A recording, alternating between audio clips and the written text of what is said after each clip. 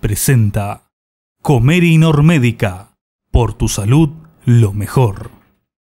En otro tema, en pocos días la justicia se expedirá, sobre un presunto caso de acoso laboral a una funcionaria de la Dirección Departamental de Salud por parte del director, doctor Dante Emilio Toma. El jerarca ratificó que las acusaciones son sin fundamento y pretende que se aclare cada punto de lo denunciado. Recordemos que este caso ocurrió en enero.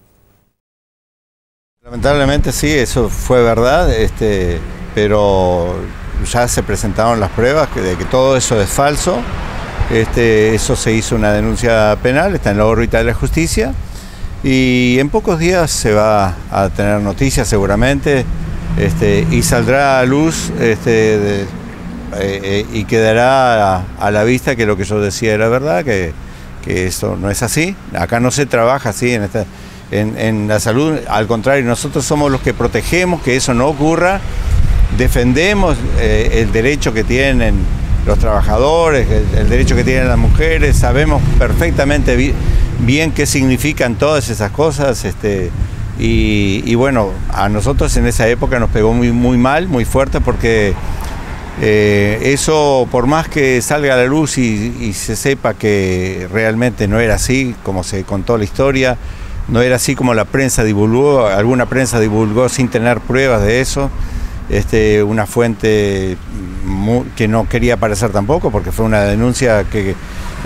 aparentemente como anónima, tachada. Este, Hablaba de persecución laboral y otros sí, se hablaban de un montón de cosas que no, eh, muy dolorosas para, para, para la persona que está a cargo de una institución tan saludable como el Ministerio de Salud Pública para un padre de familia, para un abuelo, para un amigo, un vecino de esta casa, una persona que se crió toda la vida, que vivió toda la vida acá, bueno, eso es algo muy duro.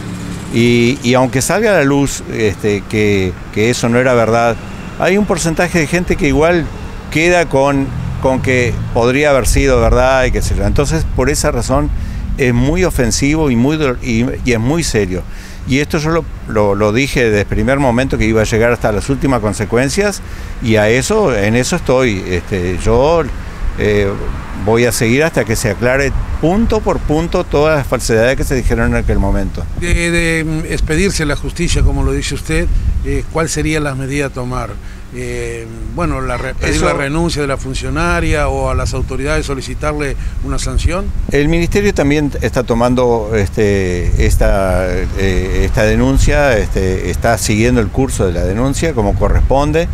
Este, yo hice hincapié que también a través del Ministerio se fuera hasta las últimas consecuencias, que, que se actuara con total este, objetividad, este, más allá que se trataba de un director, no me importa, yo eh, quiero, quiero exponerme a todo lo que sea necesario para que esto quede clarísimo, no solamente claro, que quede que quede claro y contundente, porque estoy 100% tranquilo de que eso no fue así, nunca sucedieron ni por asomo cosas así.